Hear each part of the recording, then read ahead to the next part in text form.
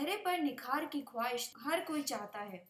लेकिन आजकल जिस तरह की जीवन शैली है बार बार बाहर जाने से धूल मिट्टी के कारण चेहरा निखार ढल जाता है। लेकिन घबराए नहीं, आपके चेहरे का निखार फिर वापस लौट सकता है। सिर्फ़ कुछ घरेलू नुस्खे आपके चेहरे की रंगत वापस लौटा सकते हैं।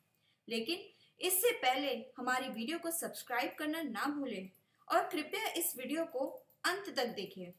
तो आइए अब नज़र डालते हैं कुछ घरेलू नुस्खे पर। अगर हम बात करें एलोवेरा की तो यह चेहरे के लिए बहुत ही फ़ायदेमंद है। इससे चेहरे से जुड़ी हर समस्या खत्म हो जाती है। तो कैसे एलोवेरा का इस्तेमाल करें? आइए नज़र डालते हैं। सबसे पहले एक एलोवेरा ले, एक चम्मच गुलाब जल, एक चम्मच शहद और चुटकी भर हल्दी और फिर नींबू का रस ले। इन सारी सामग्री का एक कटोरी में अच्छे से मिश्रण बना लें। फिर इस मिश्रण को अपने चेहरे पर लगाएँ।